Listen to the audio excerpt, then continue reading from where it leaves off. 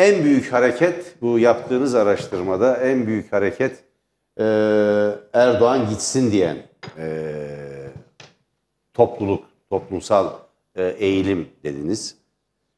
Ve Sayın Solmaz Türk'ün e, ifade ettiği ve hepimizin paylaştığı aslında demokratik ve adil bir seçim yapılacak mı yapılmayacak mı? Daha doğrusu hatta bir seçim yapılacak mı yapılmayacak mı kaygısının toplumda da yaygın bir şekilde bulunduğunu gözlemliyoruz biz gazeteciler olarak.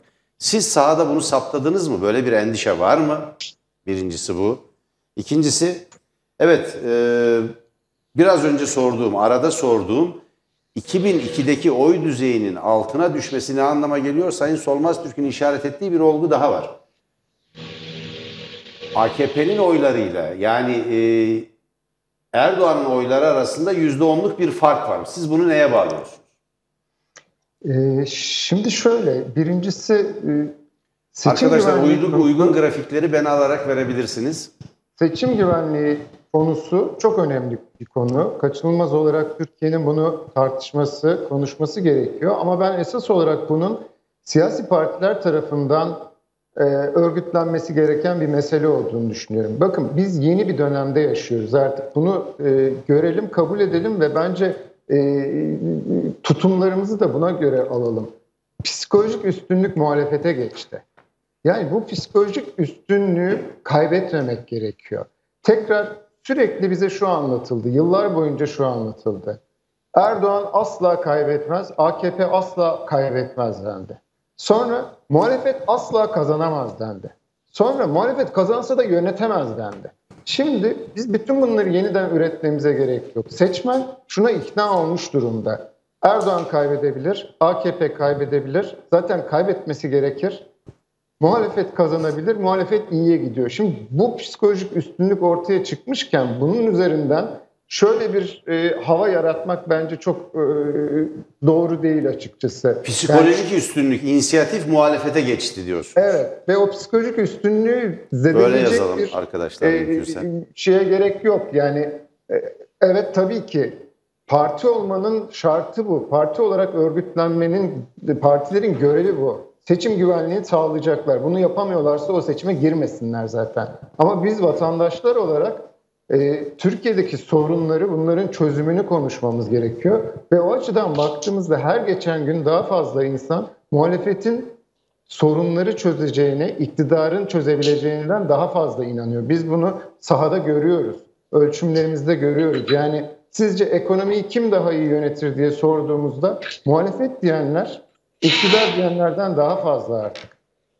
Ya da iktidar kaybederse sosyal yardımlar azalır mı? Mesela çok altı çizilen konulardan birisi işte iktidara oy veren yoksullar bundan çok çekiniyorlar. Dolayısıyla e, e, Tayyip Erdoğan'a oy vermeye devam ediyorlar diye e, anlatılır. Bunu sorduğumuzda da artık bu tablo değişmiş durumda. Yani muhalefet iktidara geldiği takdirde sosyal yardımlar kesilir ya da işte bir takım yasaklar geri gelir gibi bir algı seçmende yok. Dolayısıyla bu Peki psikoloji... yerel yönetimlerde muhalefetin başarısının bunda bir etkisinin bulunduğunu düşünüyor musunuz? Kesinlikle düşünüyorum. İstanbul, yani... Ankara, Adana, Mersin, Antalya gibi sonradan kazanılan büyükşehir belediye başkanlıklarının? Kesinlikle bu belediyelerin özellikle sosyal yardımlar konusunda özellikle koronavirüs salgını sürecinde yaşanan sıkıntılar e, karşısında e, yoksul kesimlere yaptığı yardımlar, bütün o e, bir tür sosyal demokrat belediyecilik, sosyal devletin yapması gereken şeyleri adeta yapan belediyeciliğin tabii ki muhalefetin e, seçmen gözünde daha olumlu algılanmasını beraberinde getirdiğini net bir şekilde görüyoruz. Bunun ötesinde yani bu psikolojik üstünlük e, muhalefete geçti derken bu e, temelsiz bir şey değil. Yani biz şunu soruyoruz mesela seçmenlere. Sizin kendi oy verme davranışınızdan bağımsız olarak sizce Cumhurbaşkanlığı seçimini Erdoğan mı kazanır, muhalefet adayı mı kazanır diye sorduğumuzda muhalefet adayı kazanır diyenlerin içinde artık AKP'ye, MHP'ye oy verenler de var. Yani kendisi Erdoğan'a oy vermeye devam etse de muhalefetin kazanabileceğinden endişe etmeye başlamış. Böyle bir psikolojik üstünlükten bahsediyoruz. Ya da şöyle ifade edeyim. Ee, şimdi biz yaklaşık 10 yıldır çok sert bir kutuplaşmanın içinde siyaseti algılıyoruz, yaşıyoruz. Kimlikler üzerinden kurulan, o kimlik nedeniyle oy tercihlerinin belirlendiği çok sert bir konsolidasyon vardı aslında son 10 yılda. Asla oy vermem grafiği de var. Şimdi asla oy vermeyeyim, e, vermem diyenlerin arasında eski AKP seçmeni oranı nedir? O grafiği de verebilir arkadaşlar. Ee, şöyle söyleyeyim size. Eğer bu soruyu 24 Haziran'da AKP'ye oy vermiş e, olanlar için soruyorsanız %20'ye yakın bir oranın Ciddi e, bir asla oran. evet. E, bunun dışında %57. bunun dışında bugün AKP'ye oy veririm dediği halde Erdoğan'a oy vermem diyen küçük de olsa bir kesim var artık iktidar Öyle mi? içinde. Yani şunun altını çizmeye çalışıyorum.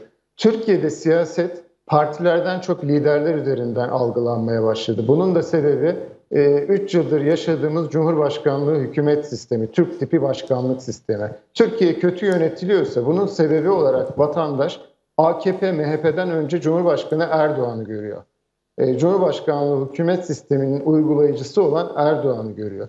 Tabii ki o kimlik siyasetinin etkisiyle e, Türkiye iyi yönetiliyor diyenler 23 ama Erdoğan'a oy verenler 33 çıkar. Çünkü orada e, belli bir seçmen kümesi adeta bir hmm, takım tutar gibi oy tercihlerini belirliyor. E, bir takım kimlik özellikleri üzerinden ama bu e, Türkiye sosyolojik olarak bunu değiştirmeye başladı. Yani Türkiye'deki en önemli sorun nedir diye sorduğumuzda bize 4 seçmenden 3'ü istisnasız her ay ekonomi diyor. Bunu şu şekilde işsizlik, hayat pahalılığı, geçim sıkıntısı, ekonomik kriz gibi e, şekillerde ifade ediyor ama ekonomik kriz 4 seçmenden 3'ünün mutlaka dile getirdiği bir şey.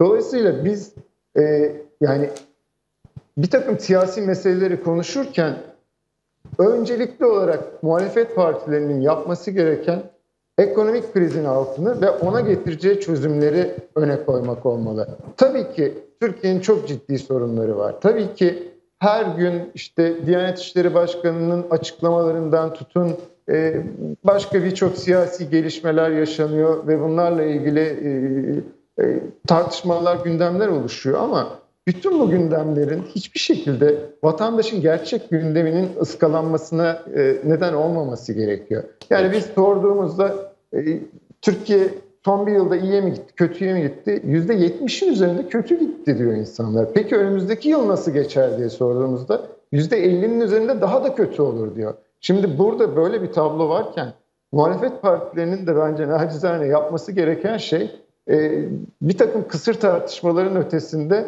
yarın bizim iktidarımızda ne nasıl daha iyi olacak bunu anlatmak olmalı gibi geliyor açıkçası. Peki. Çok teşekkür ederim Sayın Derya Kömürcü, doçent doktor, Yöneylem e, Araştırma Şirketi'nin araştırma koordinatörü. Çok çok teşekkür ediyorum katıldığınız için. Ben teşekkür ederim.